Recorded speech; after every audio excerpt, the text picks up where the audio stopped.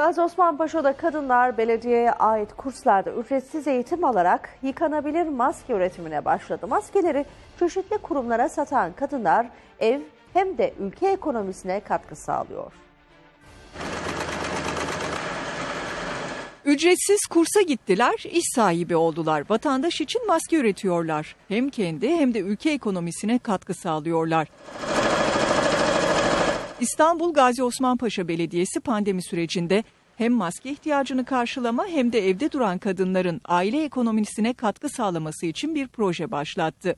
Belediyenin Kadın Koordinasyon Merkezi ilçede meslek sahibi olmak isteyen kadınları bir araya getirdi. Öğretmen arkadaşlarımla birlikte pandemi sürecini e, bu şekilde değerlendirdik. E, daha sonra öğrencilerimizle beraber bunu gelire e, çevirdik. E, güzel bir iş oldu. Pandemi döneminde e, maske ihtiyacı doğduğu için de biz de e, bu işe yöneldik. İlk önce ücretsiz kurs aldılar, daha sonra sterilize edilmiş hijyenik ortamlarda yıkanabilir maske üretimi gerçekleştirmeye başladılar. Kadınlar günde ortalama 150 özel tasarımlı maske üretmeye başladı.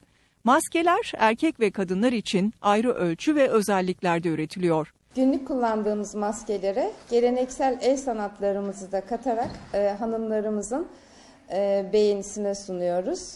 E, modayı yakından takip eden hanımlarımız da bunları severek alıyorlar. Erkekler için çeşitli renk ve desenlerde kravat ve maske kombini yapılırken, kadınlar için her kıyafete uyum sağlayacak özel tasarım maskeler imal ediliyor.